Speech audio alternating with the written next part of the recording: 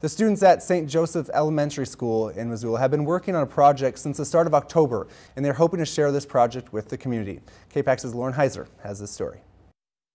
For the fourth graders at St. Joseph School, the month of October isn't all about candy or costumes. For them, it's about giving back. Every year they host a fundraiser, giving the month of October a new name. Happy Socktober! During Socktober, the school partners with the Poverello Center to collect socks. Christ the King Church also participates by collecting a donation bin of their own. Those socks are then distributed to the homeless in Missoula. Zachary Malden, the volunteer coordinator at the POV, says this month's sock donations are extremely important. This time of year it's getting cold, um, so it's very nice to have upwards of a, a thousand, two thousand socks that we can provide a couple pairs of socks to each person.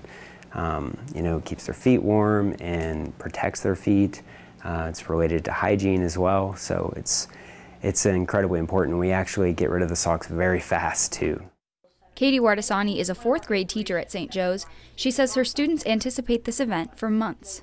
For my students, it is all about looking out for somebody else and doing something kind and being a good person for others and setting an example for younger students um, and for those that look up to them. The students say they have many reasons for participating in the event, but at the core of their excitement is the same message. They love to help the people in their community. People that are homeless, it's a dangerous life for them, so getting to help the POV was really fun. To make their feet warm just makes my heart warm, so I really like that. And it feels so good just to give back to the people like homeless veterans. They have done so much for us and we should give back to them.